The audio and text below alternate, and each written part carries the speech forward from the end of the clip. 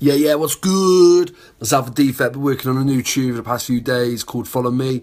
So yeah, I'll show you a few clips now. Where?